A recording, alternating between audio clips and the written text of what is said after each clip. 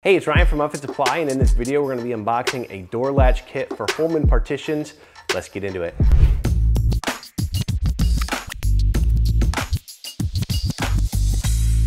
All right, this is part number 40620. It is a door latch and lock kit to be used with Holman partitions pretty simple upgrade that you can add to your three panel partition from Holman. It just allows you to convert that center panel into basically a swinging door.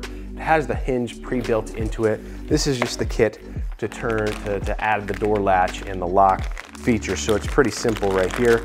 Um, we have our little latch mechanism with our two keys. So this is gonna be installed into the hole that exists on the door already to allow you to lock and unlatch that door. Comes with two keys here. I get them out. So you got an extra there.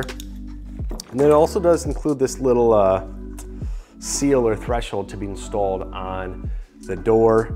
Um, nice little addition right there. We have our Holman warranty. This is also include, uh, covered by the three-year warranty that comes from the Holman from the factory. Make sure you're buying it from an authorized reseller to get this warranty, uh, like upfitsupply.com.